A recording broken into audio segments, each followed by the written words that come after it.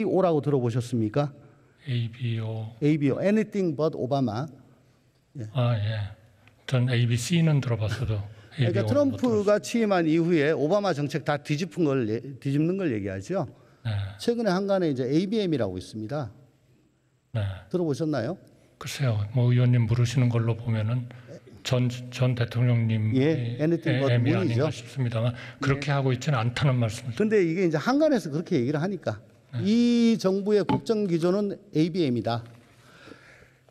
사실 어, 언제부턴가 정권이 바뀌고 나면은 새 정부의 국정 기조가 anything but으로 되는 이 잘못된 관행이 생겼습니다.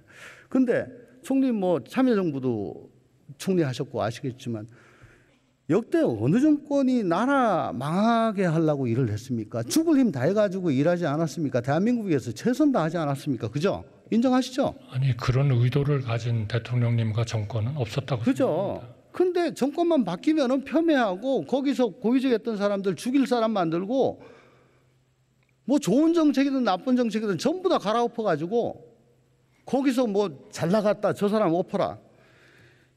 저희는 이- 이- 저희는 좋은 정책은 열심히 승계했습니다. 2030 부산 엑스포도 그렇고 또 후쿠시마 방류 그것도 그대로 저희가 주요 정책 다 인수를 폐기해 한 가지고 거죠. 국정 동력에 얻으려고 한 거고요.